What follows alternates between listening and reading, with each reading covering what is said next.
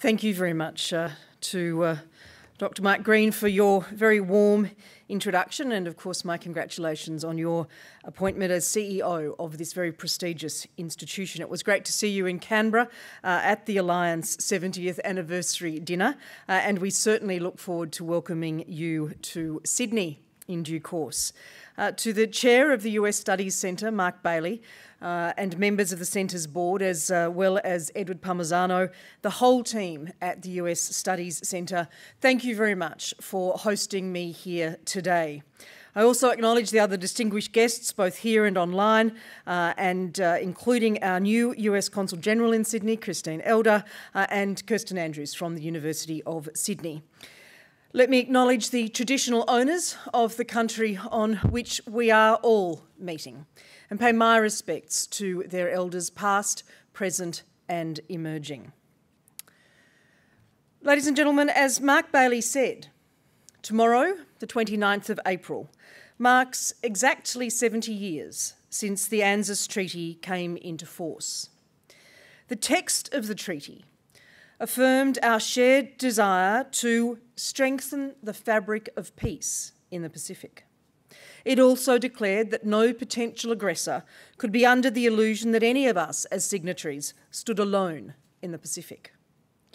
For 70 years, Australia has known that we are far more secure because we do not stand alone. This knowledge has given us confidence and assisted in enabling us to flourish and prosper there's nothing quite like having good friends and trusted partners. Over these same seven decades, the world has seen extraordinary economic growth and stability, nowhere more than in the Indo Pacific. These two things are not coincidental. The values and principles that bind Australia and the United States, and which we share with many other partners, both in the Indo Pacific and beyond, promote stability and prosperity, not just for ourselves, but for all. The Australian people, the American people, share much in our cherishing of national and individual freedom and fairness, of openness and optimism. We believe in democracy. We believe in free speech, human rights, and equality. We believe in the rule of law and a set of rules that creates a level playing field, enabling healthy competition between open economies. Our alliance spans diplomacy, trade, intelligence, shared facilities, security and defence, space and cyber, and ties between our people, our cultures, and our outlook. It's an essential element in keeping Australians safe, which is the first priority of any Australian government.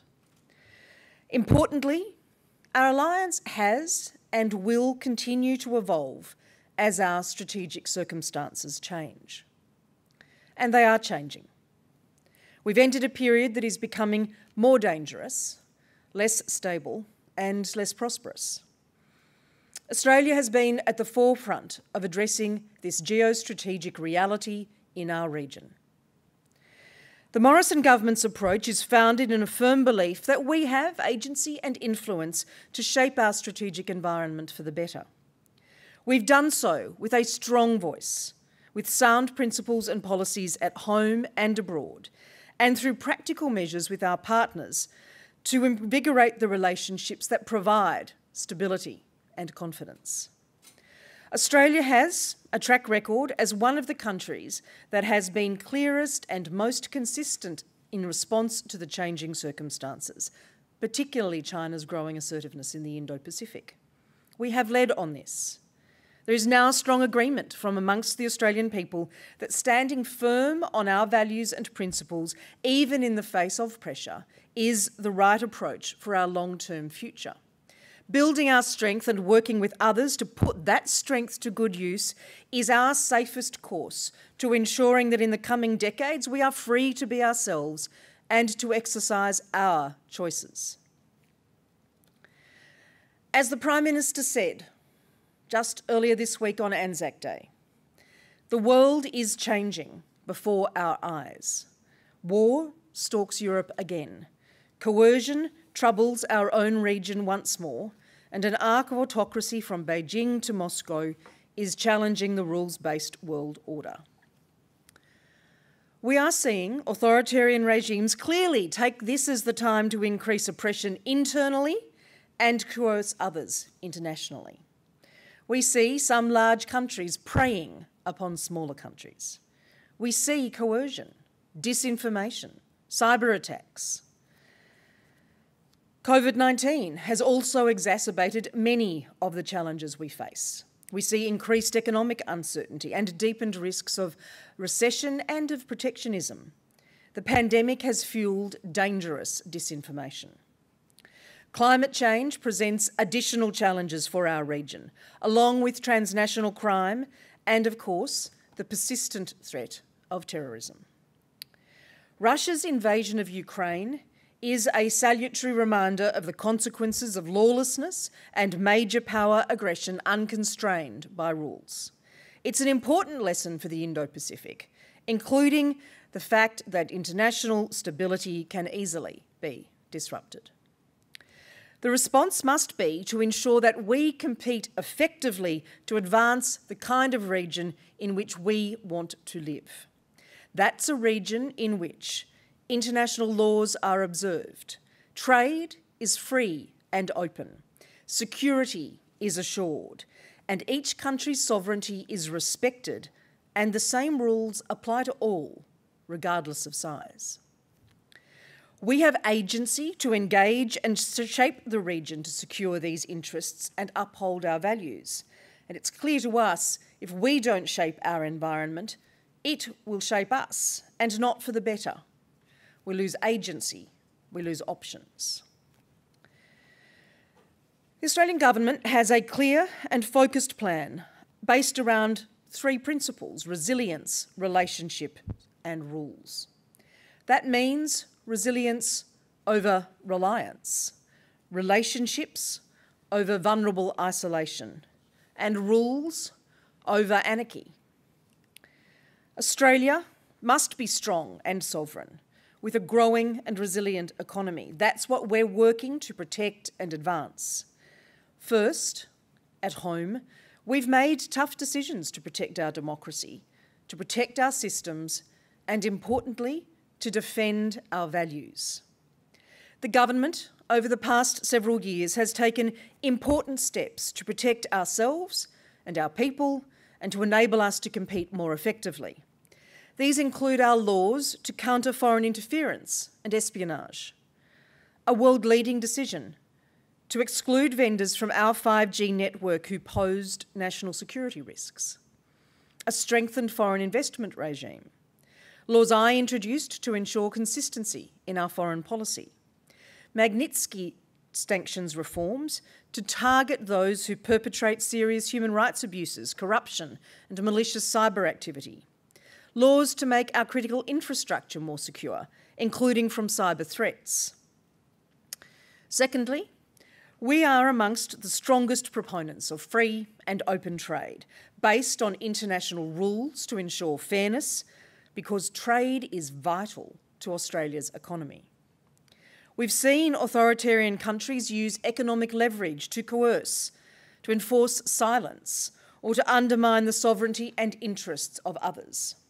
We are therefore strengthening our resilience against such measures by supporting robust international rules, encouraging the diversification of Australia's trade and securing supply chains.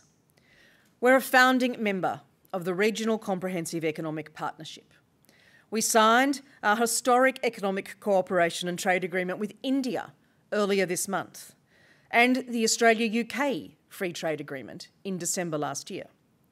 We're working with partners on supply chain resilience, including through the Quad, the G20, APEC, and the G7 Plus. And we've established the $107 million Supply Chain Resilience Initiative to establish or scale manufacturing capabilities or address supply chain vulnerabilities in critical areas like semiconductors, agricultural chemicals, telecommunications equipment, and personal protective equipment. Thirdly, we're building the resilience of our region because a stable neighbourhood benefits our own economy, and a safe neighbourhood is a good place to live. From vaccines to infrastructure, from cyber to low emission technology and investments in economic resilience. We're working with partners to deliver practical and positive benefits, particularly as countries continue to face the economic impacts of COVID 19. On vaccines, for example, Australia has so far delivered over 30 million doses to partners in the Indo Pacific of the 60 million we have committed. Further deliveries continue into the region literally this week. We deliver on our promises transparently. Fourthly, over the past eight years, Australia has been undertaking the most comprehensive expansion of our defence capability in our lifetimes. We've increased the defence budget to over 2% of GDP this year. The United States is a critical partner for us in this endeavour sharing technologies and expertise to develop the most advanced capabilities to defend our nation, including through the AUKUS partnership. This range of initiatives strengthens our sovereignty and makes us a more capable partner in maintaining a region in which all nations can pursue their interests and values free from coercion, intimidation, or pressure. Australia is amongst a group of nations championing democratic values. However, we clearly also have aligned interests with countries that have different political systems. Amongst those aligned interests is a balanced region in which no one country dominates and in which all states' rights and sovereignty are respected. Australia stands for a freer, more open, more inclusive world a region in which an authoritarian power is dominant doesn't get us closer to that goal. And that's why the resilience of all states is essential. The strategic challenges that Australia and our immediate neighbours face are by no means unique. In my discussions with global counterparts, from the Pacific to Southeast Asia to Europe, it's clear that as authoritarian powers assert themselves, Smaller and vulnerable states are facing comparable stresses and dangers wherever they are. We respond to these challenges more effectively with partners. No one nation alone can manage the array of challenges that we face. We are most certainly stronger together. As Australia's Foreign Minister, I've regularly engaged close counterparts on these sensitive and complex challenges in our immediate region, including in recent weeks those from Europe around the table at NATO, from India, Indonesia, Japan, the UK, the US, Republic of Korea, Canada, across the Pacific, the Solomon Islands, New Zealand, Samoa, Tuvalu, Tonga, Nauru, and the Cook Islands. By working with partners across the globe, not just in the Indo Pacific. We're continuing our deliberate development of a strong network of complementary partnerships. We were the first country to secure a comprehensive strategic partnership with ASEAN last year, reflecting the importance of ASEAN, which sits at the heart of our approach to the Indo Pacific. We agreed comprehensive strategic partnerships with India, with Malaysia, with the Republic of Korea in the last two years, and our comprehensive strategic and economic partnership with Papua New Guinea, and our Vuvale partnership with family and friends in Fiji. We are strengthening further our critical partnership with Indonesia, including with President Widodo's visit to Australia and the entry into, the, into force of the Indonesia Australia Comprehensive Economic Partnership Agreement in 2020. We have taken the Quad from an idea that was effectively shelved, shelved by previous governments to a leading grouping of democracies who are now meeting at least once a year at leader level and at foreign minister level. Most recently at foreign minister level uh, in our Quad foreign ministers meeting held in Australia, in Melbourne, in February. We're taking practical action to meet challenges like COVID vaccination, cyber attacks, disinformation, and infrastructure development. In fact, the progress made by Australia, India, Japan, and the United States in the Quad in aligning our efforts to multiply impact will continue to yield benefits to the region for decades to come. And there is our landmark agreement, AUKUS, which will enhance our national security for decades. In addition to nuclear powered submarines, AUKUS enables us to share advanced technology, including on cyber, on quantum technology, on artificial intelligence, on undersea capabilities, on hypersonics and electronic warfare. As we advance the AUKUS partnership, Australia is strongly committed to upholding our non proliferation obligations and commitments and strengthening the non proliferation regime. Our non proliferation credentials are world leading, and we will maintain the highest standards. We're also partnering with our Pacific family in a wide variety of ways to help them preserve and strengthen their sovereignty and improve the lives of people across our region. We've been expanding and deepening our partnerships through the Pacific Step Up, through our expanded diplomatic footprint, our targeted and effective development program, and our whole of government efforts delivered through the Office of the Pacific. We have made record investments in the Pacific $1.85 billion in development assistance in this coming year, and $2.7 billion in total support for the Pacific for the current year, including our, not just our development assistance, but our security, health, and financial support. We have responded to our Pacific family in times of need, whether through the economic and health shocks of the COVID 19 pandemic, whether it's responding to natural disasters such as Tonga's volcanic eruption and tsunami, or responding to the Solomon Islands' call for assistance to civil unrest in late last year. We have invested in Pacific economies We've increased our Pacific climate finance commitment to at least $700 million. We've doubled the lending capacity of the Australia Infrastructure Financing Facility for the Pacific from $1.5 billion to $3 billion in this last budget to provide further options for Pacific countries on infrastructure. Options that are climate adapted and climate resilient, focused on their priorities and their plans and also creating Pacific labour mobility programs that have enabled more than 19,400 workers to arrive in Australia since our borders reopened. We've strengthened our security partnerships. We've delivered 14 so far out of the 21 pledged Guardian class patrol boats and upgraded wharf infrastructure in Papua New Guinea, in Tuvalu, in Tonga, in Samoa, in the Solomon Islands, in Fiji, in Palau, in Kiribati, in Vanuatu, and the Federated States of Micronesia. We are delivering regional security institutions, including the recently opened Blackrock Peacekeeping and Humanitarian Assistance and Disaster Relief Camp in Fiji. I was present for the sod turn of the Blackrock camp. To see it completed and operational is a landmark achievement between Australia and Fiji, not just for Fiji, but for our region. We're working to deliver Lombrum Naval Base in Papua New Guinea and a border and patrol boat outposts in Solomon Islands.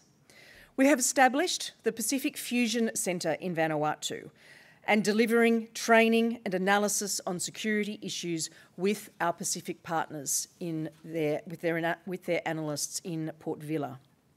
And most importantly, We've invested heavily in our people to people links, despite the challenges of COVID 19 travel restrictions, which have been significant. Since 2018, Australia has opened six new diplomatic posts. We are now the only country with a diplomatic mission in every Pacific Island Forum member country. Today, in Honiara, our High Commissioner will attend an event for the handover of 150,930 doses of Pfizer vaccine through an agreement with UNICEF. This brings to more than half a million the number of doses we have delivered to the Solomon Islands. And we have seen great support through AUSMAT teams, uh, through the support of the ADF for the delivery of that COVID 19 support and health security across the wide and dispersed Solomon Islands. We will continue talking with the Solomon Islands government in Honiara. But I have noted, and I reiterate, that we are deeply concerned by the Solomon Islands signing of the security agreement last week with China. Of course, I have consistently acknowledged that this is a clear sovereign decision of a sovereign government. However, we know other members of the Pacific family share our concerns. As I said, we'll continue talking with the Solomon Islands government about how the Pacific family is best placed to provide security assistance in our region. We have done that successfully. We will continue to do that, and no document signed and kept away from public view is going to change that. We have a bilateral security treaty that is available for anyone to read. That's the way we operate in our partnership with the Solomon Islands and across the Pacific. That's the kind of partner we are, and that is why we're the partner of choice for so many. We have again proven that in response to Solomon Islands unrest late last year, in response to the Tonga volcanic eruption and tsunami in January. We have proven it over 14 years of the regional assistance mission to the Solomon Islands. But we do need to be clear. The Solomon Islands sovereign decision reflects the geostrategic reality of the time we are now in, as China continues to seek a security presence in the Pacific. These are matters we have been dealing with for some time. It's an issue we as a region and a family are facing, as other parts of the Indo Pacific are facing it. We'll continue talking with our Pacific Island Forum partner members on a Pacific Island Forum response. But Australia will always take the necessary, appropriate actions to maintain the peace, security, and resilience of our region. International laws, rules, and norms guide healthy competition, and they ensure that competition doesn't lead to conflict or instability. However, intense strategic competition, the global pandemic, and resulting economic shocks have exposed weaknesses and stress points in major multilateral institutions and indeed the systems of rules that they administer. Authoritarian states want the current international system to be disrupted, dismantled, reshaped even to serve their own interests. Australia's involvement is therefore vital. We've been at the forefront of articulating this challenge and responding with our own investments to ensure our influence works to build transparency and accountability. Through recent UN votes, the world has sent a signal to authoritarian nations by emphatically repudiating Russia's wholesale breach of the UN Charter and international law through its illegal invasion of Ukraine. Australia joined partners in referring the situation to the International Criminal Court in early March because President Putin and his regime must face consequences for their, their and his unprovoked war. We've all seen the disturbing evidence of war crimes and the potential evidence of genocide. We have offered, as, uh, from Australia, two officers to the International Criminal Court, and we're looking to provide further Australian Federal Police investigative support, particularly given our experience as part of the joint investigative team on the downing of MH17. Today, I can also announce a further $1 million in voluntary contributions to assist the International Criminal Court's investigations. This is in addition to our annual contributions. The appalling crimes committed over the past two months demonstrate why these international institutions and processes matter more than ever. Australia will promote rules based economic integration and advocate against protectionism. We're working with like minded partners to strengthen institutions like the World Trade Organization, to defend the rights of all economies to trade free from coercion. international institutions are not perfect, they've never been so but they are indispensable as the fora through which we can generate collective action against countries that unilaterally undermine stability or coerce others. Ladies and gentlemen, these three principles of strengthening resilience, relationships, and rules will continue to be vital as we act to shape our region. The pace at which China has sought to exercise influence and raw power in the Indo Pacific has been rapid more so than many were predicting only a decade ago. Australia has been at the forefront of global efforts to respond to the implications of this shift in power. We have been candid and forthright with partners. We have spoken with conviction and consistency in defence of our national interests. we have been acting to make Australia and our region more secure, delivering vaccines and reinforcing health security, forging trade rules, seeking leadership in multilateral institutions, providing humanitarian assistance and disaster relief, defending international law, and calling for transparency in relation to China's security agenda. We are focused on shaping a stable future for our region in the face of negative and concerning trends. None can be in doubt as to what Australia stands for. Strategic competition and supply chain issues exacerbated by the pandemic have demonstrated beyond question that any separation between strategic and economic interests does not serve Australia's interests. When I addressed the US Studies Centre in October 2019, just months before the COVID 19 pandemic inflicted such damage to our region, I said then that Australians are very interested and alert to the extent to which our circumstances are changing. Now, two and a half years later, these words continue to ring true. We are in the midst of the most significant and consequential realignment of our region since the Second World War, and Australians rightly take a strong interest in these issues. The pandemic, and events such as Russia's invasion of Ukraine have reinforced beyond all doubt that the security and prosperity of Australians is tied to our capacity as a, as a nation to navigate these turbulent times.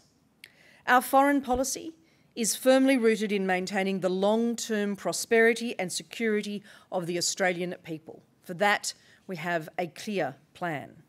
It's a plan that we have been consistently prosecuting, building on our track record of deterring actions contrary to our interests, of mitigating problems when they inevitably arise, and of securing opportunities to advance our prosperity and security. We approach this era of strategic competition with confidence. Confidence in our plan, confidence built on our record, confidence in Australia. From a position of strength, we are competing for the future we want for Australians now and for the generations to come. Thank you very much, ladies and gentlemen.